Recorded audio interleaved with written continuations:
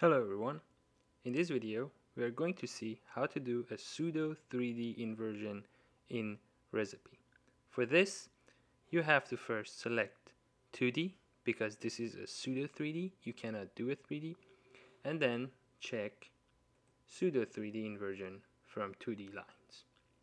Bear in mind, this is still in improvement and development stages so you might not be able to use all of the ResIPy's features for now but you have enough to do your data cleaning error analysis and inversion with this option. By default you have to import separate lines. For this we are providing you a line space that can be changed in future based on your electrodes and you can choose from any of these file formats available for you. For this example, I'm going to use protocol DC, which is only resistivity, and select my 2D lines. These examples are all available in our repository. Please go and check them out. I'm selecting these two surface profiles and since I have chosen 1 meter, you can see that ResIPy is showing two separate pseudosections in a grid 3D format with 1 meter spacing. But this is not the format or the array that I have, so I have to update my electrodes. Very, very important that the label of the electrodes that you have should contain a line number with a space coming after that an electrode number. So you should have one space between line number and electrode number. ResIPy automatically does that for you. So as you can see, line 1 and then line 2, each of them have 24 electrodes. And all you have to do is basically populate X, Y, and Z. And if you have buried electrode, select them. For this, I'm using this example. So I'm selecting X, Y, and Z from my Excel file copy them and simply paste them in here. Okay? And if I go back to my pseudo section I can see I have two separate lines now with topography pretty far away from each other. Since these are pretty far away we are not going with 3D inversion and we want to just show them in a pseudo 3D grid. Just like the batch inversion in 2D you can go into the pre-processing, select your data set, and filter the data points that you seem unnecessary or erroneous. If you have reciprocal measurement or phase measurements, all these tabs will be activated for you. Next step is creating a mesh. Just like 2D, you have the options of quadrilateral mesh and triangular mesh. Additionally, you can select the fine coarse boundary depth of your mesh. I'm going with the default selections and create a triangular mesh. Depending on the number of lines, this process can take a few moments. As you can see, the mesh is presented to you just like the pseudo sections you've seen in a, three, in a pseudo 3D format. The next step is the inversion settings. This settings will be applied on all of your datasets similarly. So error amounts or anything that you choose from the Ad Advanced tab will be applied similarly to all of your datasets. And then we can invert our data.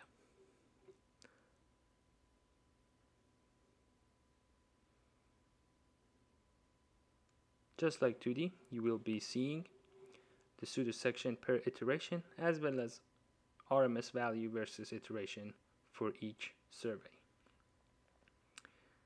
But if you select the parallel inversion, this option will not be available. Alright, as you can see, we have the inverted profile for these two surface lines in a pseudo 3D grid. You can select any of the attribute available, like resistivity or conductivity, or if you like, you can compute the attribute you're looking for in here based on the value uh, available attributes in here. Additionally, you can look at each surface line separately for more details in a 2D format. And bear in mind, because these two lines, because ResIPy actually keeps the aspect ratio each time you have to zoom out or zoom in on your plot to see a better representation of your data.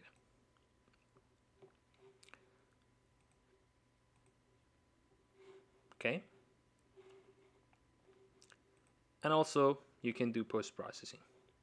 Based on the normalized error, if something has gone wrong, you can take it out of your inversion and reinvert all of your data. Now I'm going to show you how to do a pseudo 3D inversion with cross borehole including in the survey. As you know, cross boreholes are not surface arrays, so they have different inputs. For this, from the options menu, I'm going to restart my project and not the whole GUI. And then I'm going to import all of my data sets.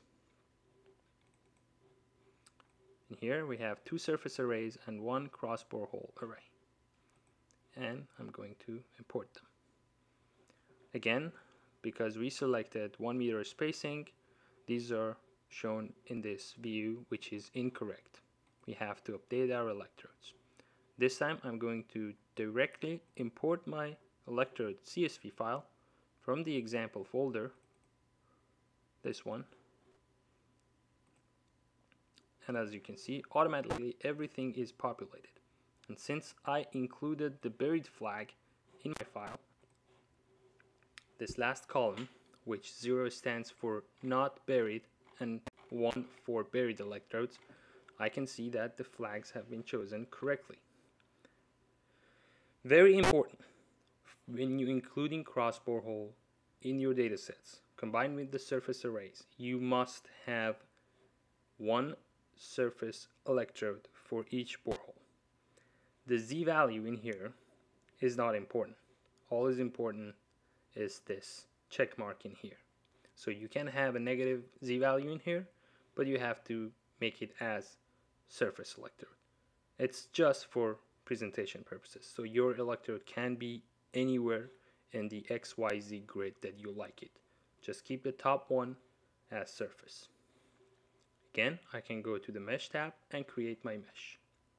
For this, I'm just gonna skip it and just show how fast your inversion will go if I check parallel inversion and then invert my data. Because we don't have a mesh, ResIPy automatically will create a mesh based on the default values and in triangular format and then invert your data sets. Bear in mind, in parallel inversion, you are not going to see the iterations and all you have to do is wait. Based on the available core of your CPU as well as the power of your CPU, this can go very fast. My computer unfortunately is not that fast, so it takes a while. Sorry about that. For this, I'm going to pause the video a bit and then come back when it's done. Okay, when your inversion is done, you can see everything in the pseudo 3D format, just like before. This time, you will have also the cross borehole inversion in your pseudo 3D plot. You can move it around, look at your data set separately, and also you can, just like before, select any of these options available for you. Bear in mind, sensitivity overlay as well as contouring and DOI estimates are not available in pseudo 3D display but when you go to each line you can select them and see different options just like a normal 2D file. Oh, and very important thing, we have now an options menu in here. You can save your project and load it for later use, as well as selecting a light team or a dark theme just like what, what I'm using in here. Okay, thank you very much for watching this video.